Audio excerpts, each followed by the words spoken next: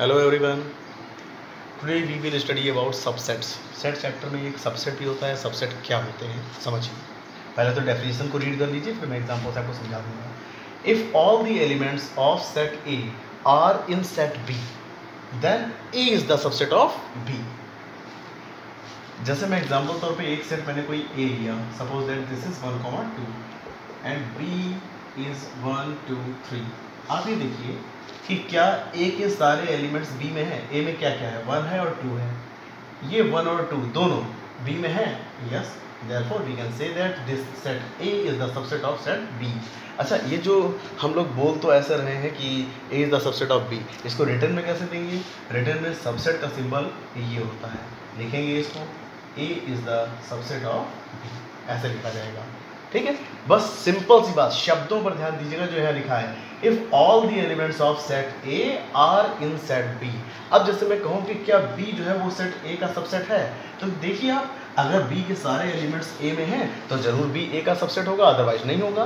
B में कौन कौन से एलिमेंट है? वन टू थ्री ये सारे एलिमेंट अगर इसमें हैं तो क्या इसमें सारे एलिमेंट ना थ्री नहीं है। इसलिए सारे नहीं है ना? इसलिए B is not the subset of A अच्छा नॉट द सबसेट आप लोग कैसे लिखेंगे। बी इज़ बस ऐसे क्रॉस कर दीजिए not the subset of A बस सिंपल है सबसेट देखिएगा एक्सरसाइज 1.3 से हमने कुछ क्वेश्चंस को चूज़ किया है जहाँ से हम आपको बताएँगे समझाएँगे सबसेट के बारे में। Question number one fill the blanks with symbols subset and not the subset अब जैसे ये एक सेट लिखा है और ये एक सेट लिखा है। अब इसके बीच में सबसेट या नॉट सबसेट हमें फिल करना है। तो अगर इस सेट में जो एलिमेंट्स हैं वो सारे इसमें हैं तो हम ये फिल करेंगे, ठीक है ना? और अगर नहीं है तो ये फिल करेंगे। तो टू थ्री फोर इसमें है। देखिए, इसमें टू भी है थ्री भी है फोर है। से this is the subset of this अब यहाँ देखिए, इसके सारे एलिमेंट्स क्या इसमें हैं? A B C B C है। ए नहीं है। सारे एलिमेंट्स नहीं मिले। इसका मतलब this is not the subset of now question number two examine true और फॉल्स हमने फ़र्स्ट और सेकंड थर्ड पार्ट अच्छा क्वेश्चन नंबर वन में जो हमने फ़र्स्ट और सेकंड पार्ट किया अदर पार्ट्स आपको अपने आप करने हैं। क्वेश्चन नंबर टू का फ़र्स्ट पार्ट और थर्ड पार्ट चूज़ किया है इसमें ट्रू फॉल्स बताना है। जैसे ये सेट इसका सबसेट नहीं है, ऐसा लिखा हुआ है। अभी बात सही है, गलत है? देखते हैं। इसमें जो एलिमेंट्स हैं कौन कौन से? ए और बी अगर ये इसका सबसेट नहीं है तो इसका मतलब इसके सारे एलिमेंट इसमें नहीं होने चाहिए। तो ए और बी इसमें है। देखिए आप इसमें ए भी और बी भी है। इसके तो सारे एलिमेंट इसमें हैं। तो इसका मतलब ये तो इसका सबसेट है, जबकि लिखा क्या है? Not the subset this means this is false ये गलत लिखा हुआ है। थर्ड देखिएगा। One two three this is the subset of this ये इसका सबसेट बताया गया है। तो क्या इसके सारे एलिमेंट्स इसमें हैं? ना, इसमें टू नहीं है, सारे नहीं हैं। तो ये इसका सबसेट नहीं हो सकता। It means this is also false now question number three let A is this set A, ये एक सेट है। इस सेट को ज़रा ध्यान से देखिएगा। इसमें एलिमेंट्स कितने हैं, जरा इसमें काउंट करिएगा। वन है टू है, कुछ लोग गिनेंगे थ्री है फोर है फाइव है टोटल फाइव ना फाइव नहीं है। वन है टू है फाइव है, और ये पूरा का पूरा जो आप देख रहे हैं, ये पूरा का पूरा एक एलिमेंट है। ये खुद पूरा का पूरा एक एलिमेंट है, याद रखिए इस बात को। ये इस पूरे सेट ए के लिए क्या है? एलिमेंट है। तो आप देखिएगा। हमें यहाँ भी भी इसे बताना है which of the following are incorrect तो मैंने कुछ पार्ट्स किए हैं, बाकी को आप अपने आप ट्राई करिएगा। ये लिखा हुआ है कर्ली ब्रेसेस में three comma four is the subset of A अब देखिए, इसी को तो मैंने अभी यहाँ पर डिस्कस किया है कि ये इसका क्या ये ये टू जो है सेट ए के लिए क्या है? एलिमेंट है. वन क्या है? एलिमेंट है. फाइव क्या है? एलिमेंट है. ये जो कर्ली ब्रैकेट में थ्री फोर लिखा हुआ है, ये पूरा का पूरा सेट ए के लिए क्या है? एलिमेंट है. और एलिमेंट के लिए सिंबल क्या यूज़ करते हैं? मैंने पिछले वीडियो में बताया ये यूज़ करते हैं. यहाँ पर ये ना होकर के अगर ये होता तो ये करेक्ट होता. अदरवाइज़ ये क्या है? इनकरेक्ट ये इनकरेक्ट हो गया. ओके नाउ थर्ड पार्ट देखिए. अब देखिए. सबसेट सबसेट में ये देखिएगा, जैसे ये एक पूरा सेट लिखा हुआ है, इस सेट के अंदर एक एलिमेंट है। ये कर्ली ब्रैकेट लगा हुआ है तो ये सेट है, इस सेट के अंदर ये जो है, ये पूरा एक एलिमेंट है। तो क्या ये इस सेट के अगर सारे एलिमेंट ए में हैं तो ये सेट इसका सबसेट होगा। तो आप देखिए, इस सेट के अंदर एलिमेंट एक ही है, ये कर्ली ब्रैकेट लिखा और ये एलिमेंट सेट ए में एक एलिमेंट के तौर पे रखा हुआ है। तो जब इस सेट का ये एलिमेंट इसमें है तो इसका मतलब ये इसका सबसेट है। ये करेक्ट है, ये इनकरेक्ट नहीं है। ओके फिर देखिएगा fourth part one is the element of A one is the element of A सही बात है वन तो है ए का एलिमेंट है करेक्ट ठीक है, इसको करेक्ट लिख दीजिए। One is the subset of A no one is the element of A not the subset of A ये इनकरेक्ट हो। गया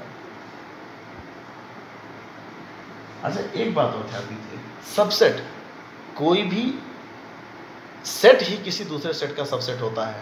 और सेट जब हम लिखते हैं तो किसी लेटर से नोटेशन होगा, या फिर करली ब्रैकेट यूज़ होंगे। तो यहाँ कहीं कोई करली ब्रैकेट आया? नहीं। तो ये कोई सेट ही नहीं हो सकता। सेट होने के लिए करली ब्रेसेस का यूज़ होना ज़रूरी है। तो ये इसका सबसेट नहीं है, ये इसका एलिमेंट है। अब यहाँ आइए। Five is the element of A अगर अब इसमें ए में एलिमेंट कौन कौन से थे? One two this bracket whole and five क्या इसमें कहीं पर फाइव लिखा हुआ है? नहीं। तो इसका मतलब फाइव इसका एलिमेंट नहीं है। ये हो गया इनकरेक्ट ओके इसके बाद में टेंथ पार्ट देखिए। Five is the subset of A आपको मैं एक नॉलेज दे दूँ। Five is the subset of all sets five सारे सेट्स का, कोई भी सेट हो, सभी का सबसेट होता है। ये करेक्ट ओके अब देखते हैं किसी भी सेट के सबसेट कितने बनते हैं और कैसे सबसेट लिखे जाते हैं। देखिए, कितने सबसेट तो पहले ये पता होना चाहिए, जिससे सबसेट लिखते वक्त कोई मिस्टेक ना हो, कोई छूट ना जाए।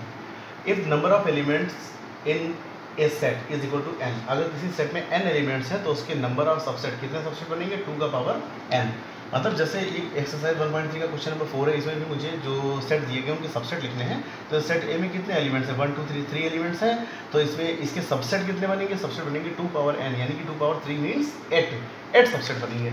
अब वो आठ सबसेट कौन से होंगे? बहुत ध्यान से सुनिए। आपको बता दूँ, जो एम्पटी सेट होता है एम्पटी सेट का नोटेशन होता है फाइव या तो फाइव लिखिए, या कर्ली ब्रैकेट ऐसे लगा दीजिए, इसके अंदर कुछ मत लिखिए। तो इस तरीके से ये दोनों सिंबल एम्पटी सेट के हैं। और empty set is the subset of all sets इसलिए हम क्या करेंगे? सबसे पहले किसी भी सेट के सबसेट लिख रहे हो तो सबसे पहले हम लिख देंगे एम्पटी सेट को।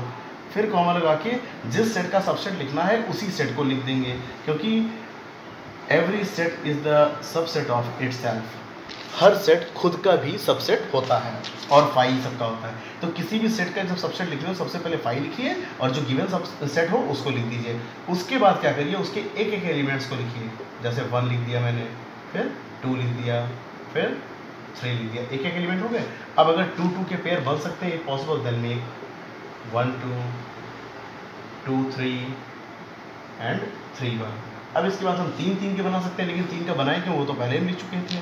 तो इस तरीके से आप इनको काउंट कर लीजिए। One two three four five six seven eight there are eight subsets यही आठों इसके सबसेट होंगे। ठीक? अच्छा अब फोर्थ पार्ट में एक सेट दिया गया है फाइव फाइव में हमने बताया नंबर ऑफ़ एलिमेंट्स कितने होते हैं? Zero means n is equal to zero the number of subsets is equal to two power n two power zero is equal to one यानी कि इसके कितने सबसेट बनेंगे? केवल एक ही सबसेट बनेगा। ठीक है? फाइव जो सेट है, इसके सबसेट कितने बनेंगे? एक। और वो हमने बताया कि फाइव हर सेट का सबसेट होता है तो फाइव खुद का भी सबसेट होगा। और हमने कहा, जब भी सबसेट लिखिए तो पहले फाइव लिखिए, फिर उसके बाद जो सेट दिया गया हो, वही फिर से लिख दीजिए। तो फाइव ही दिया गया, उसको दोबारा क्या लिखने का? इसलिए बस एक ही ये सबसेट इसका हो जाएगा।